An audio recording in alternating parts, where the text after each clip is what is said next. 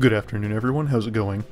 In one of the many dark corners of the StarCraft 2 editor, there lies yet another weird secret.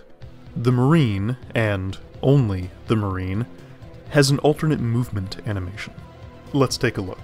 In the actor editor, locate and double click on animation baselines. Click on the walk entry in the list, then in the drop down menu under the one that already says walk, find and select slow. In the list above, the two words should be separated by a comma. Click OK. And you've just replaced the Marine's default jog with a leisurely walk. Now, there's one more thing to keep in mind.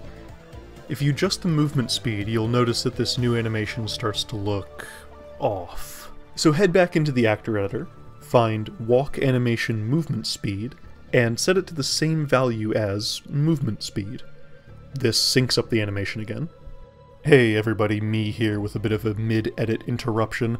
I was in the middle of getting some more footage to try to better illustrate this problem and the way this fixes it, when it turns out I could not actually replicate the original problem that I first had when I first learned how to do this.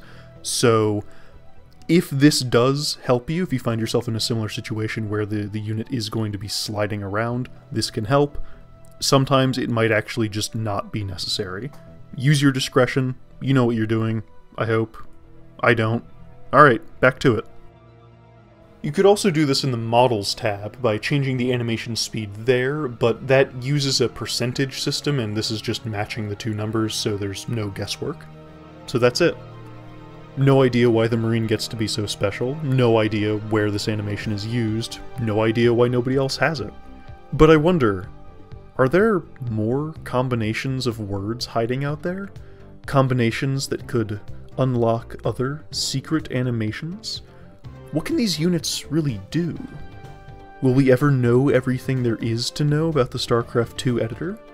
Or does it keep growing and expanding when nobody's looking? Where are all these paperclips coming from?